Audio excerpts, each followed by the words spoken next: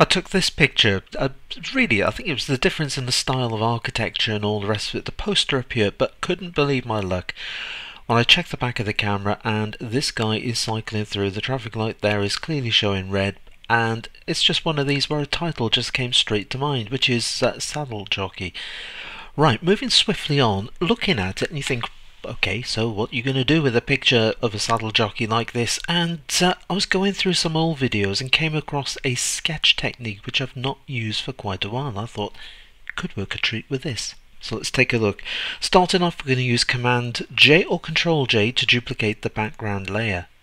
Next, by going to Image Adjustment, we're going to drop down to Desaturate. So clicking on Desaturate as desaturated the picture, giving us a black and white looking image. We're going to duplicate this layer again using Command J or Control J, so that's duplicated the layer again, but this time we're going to invert it. In other words, we're going to turn it into a negative looking picture, that's like a negative black and white, by using Command I or Control I. That has inverted it, and there it is. You can see it does look just like a black and white negative in the days of film. Right, next.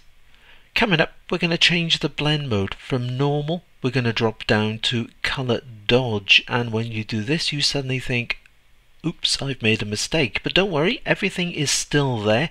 You can go to a filter. The one I did in my last video was other and it was using minimum.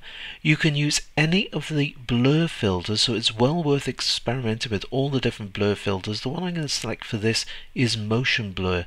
Coming in let's just grab hold of the slider move it around and that's what I like about it.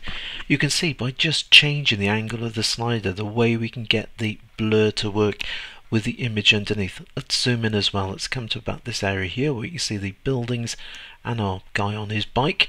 And as we move it round, yep, into this sort of area, I think this diagonal there seems to work pretty good, round about the 63 there, taking the distance up. If you go a little bit too far, it begins to turn it more into a black and white effect with a bit of a effect as such. So just dropping this back down, into this area here. You can see what we're into. We're into the 30s.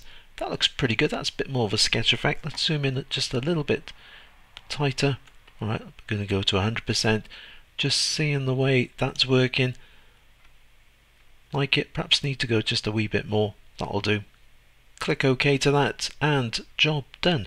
Right, zooming out.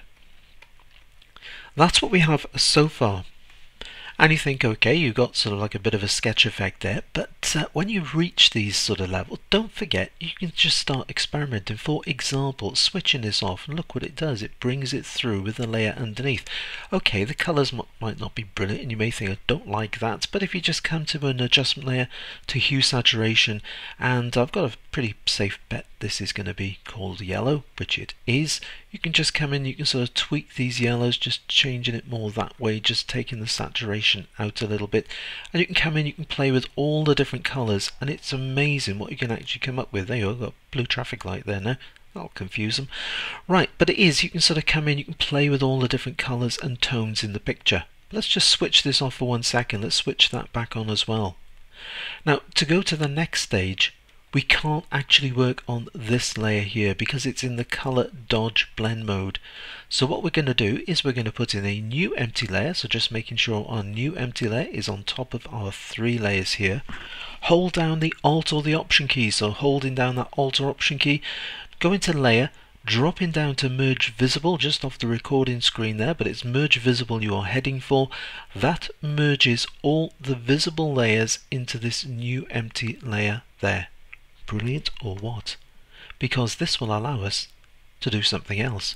We can now work on this layer because it's in the normal blend mode. We can go to filter, we can go to brush strokes and one of my favorite is crosshatch. Just waiting for the filter gallery to open. That looks pretty good. We got a stroke length there. If you grab hold of it, I just need to wait a second because I've just noticed the little blue line is still working its way across the bottom there. Well, there's an awful lot of sketching going on in this, so just give it a few seconds to do its stuff. But you can see the nice effect that we've got here with sort of black and white lines, that nice sort of blurry look. Good, it's finished.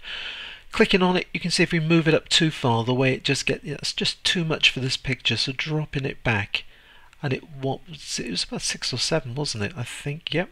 So seven there looks pretty good. And again for the sharpness, try it on the different, but no, that's too much. So just bring it back into that sort of area. Strength, you've got a choice of one, you've got a choice of two, or you've got a choice of three. Two will do nicely. Click OK to that. That's now going to apply the crosshatch to the picture, as you can see from the status bar here. And uh, there it is, job done. We're going to zoom in. Let's take a look. And you can see the way the cross hatching is given. We're in at 100%. That really nice sort of sketch effect all the way through there. Great stuff. Like the effect on that. Command 0, Control 0 will go out to fit on screen. Okay, there's a few little bits and pieces. We've still got the matter of these layers here. So I'm going to click on the top one going to press Command or Control. I'm going to click on the second one there. So that was Command or Control. So then now they are both selected, is what I was struggling to say. Command G or Control G will put it into one folder. We can switch this off. There's something else you might like to do with it. We're going to give it a little bit of a tone in. And to do that, we're going to drop down. We're going to go to solid color. And immediately Auckland has been plunged into darkness. But we're going to go for a blue tone on this. That looks pretty good. Click OK.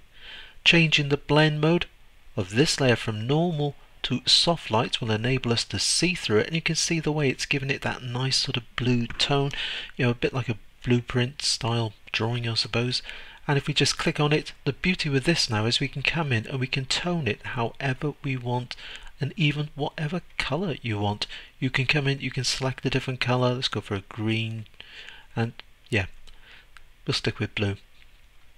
That looks pretty good like that. Just switching it on and off, you can see the difference. Let's go to Command 0, Control 0 again, which is fit on screen.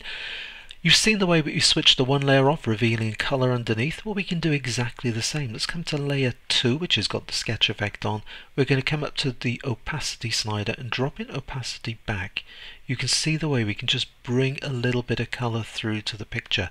That looks pretty good like that. Once again, coming in to our solid color picker, and we can just drop the toning back a little bit, allowing more of the color to come through.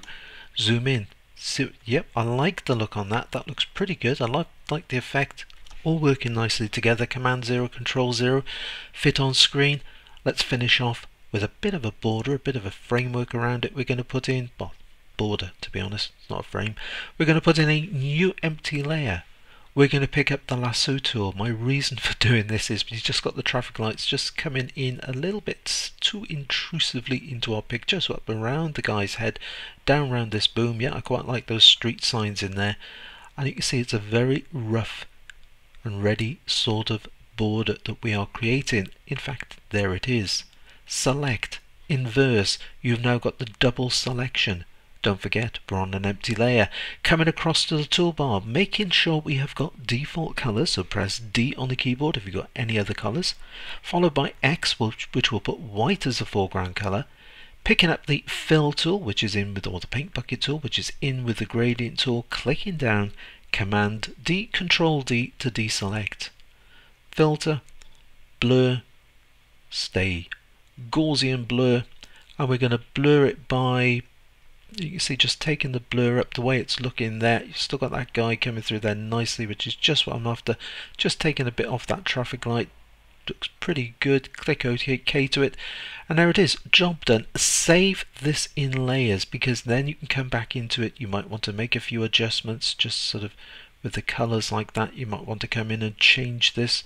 You can. So save in layers just look at it after a few few days, you'll see it with a fresh pair of eyes. If I just put that onto a black screen, that's something else that's quite important. Changing the colour of the screen it's on can just help you to see various colours in a picture. I'm just going to drop that back. It's not as distracting as that grey screen. And just, just come into that like that. There it is. Job done. Pressing tab on the keyboard. Command 0, Control 0. There it is.